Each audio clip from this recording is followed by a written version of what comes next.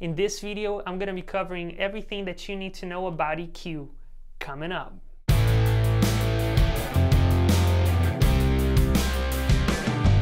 Welcome to the Home Studio Academy, everybody. My name is Nolan Freitas, and my goal is to help you build your own home studio and teach you how to create professional sounding recordings from home. So, today we're going to be covering the basics of EQ. What is an EQ? What does it do? And how do we use it? So, EQ is just short for equalizer.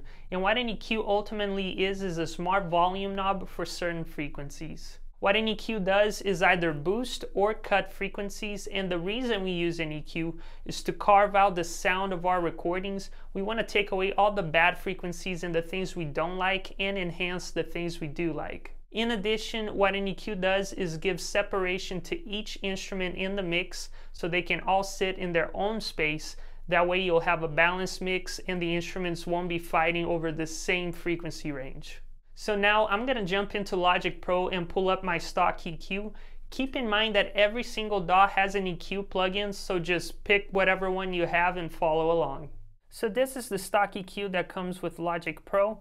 And as you see here, the frequency spectrum goes from 20 Hertz as the lowest frequency, all the way up to 20,000 Hertz as the highest frequency. And this is the human hearing range.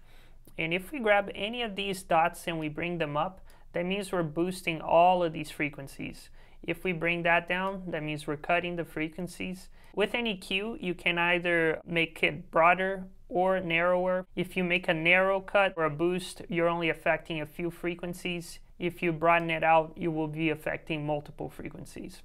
You can also use shelves, which are here at the end of the spectrum on the left and the right side and you can use low pass filters and high pass filters. So if you bring it up like this, this is called a high pass because as you can see, we're cutting all the low end and we're letting the highs pass through. And on the other end, that would be a low pass filter because we're cutting all the high end and just letting the lows pass through. Okay, now you know the basics of EQ, but let me show you how to actually use it. I'm gonna bring up an acoustic guitar here and then we're gonna get started. Hey, real quick question of the day. What is the DAW that you're using to record? Also, what is your favorite EQ plugin? Please let me know down below in the comments. Also, if you're getting any value out of this content, please consider subscribing to the channel. And now back to the video. Let's have a listen before the EQ is engaged.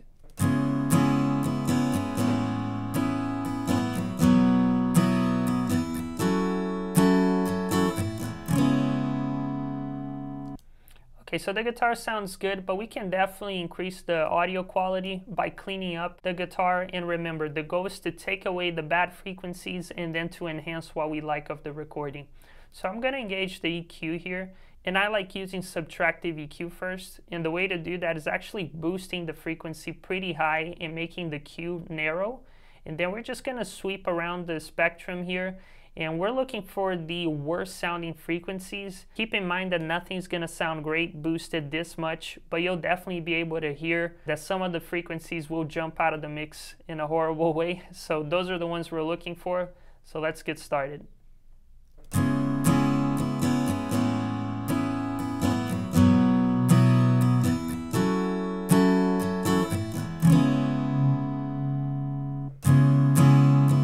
So this sounds pretty bad, so I'm gonna bring it down and then make it a little wider. And I like cutting or boosting by 3 dB chunks. And now we're just gonna repeat the process.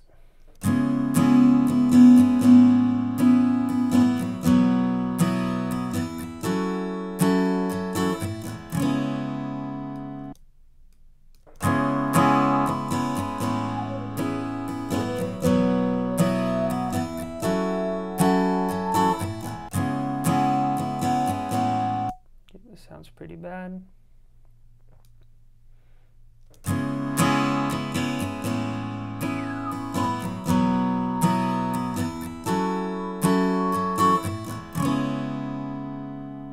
Okay, so those are the four frequencies that sounded the worst to me.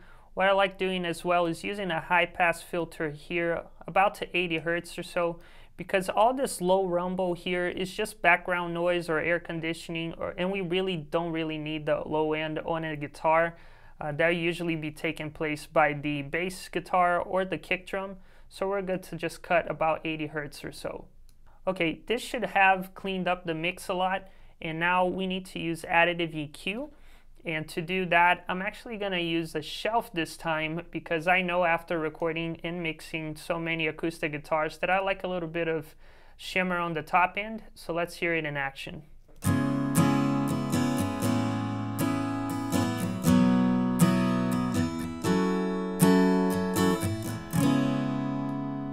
Since we did do four cuts and only one boost, I'm actually to bring up the gain a little bit by maybe 1 or 2 dB to make up for the volume loss. So let's hear it now. Before and now after.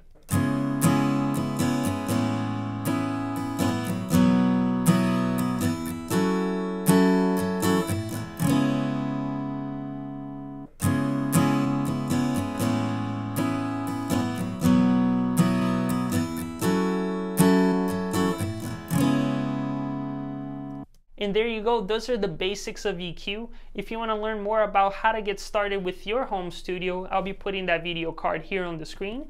Thank you so much for watching and I hope to see you in future videos.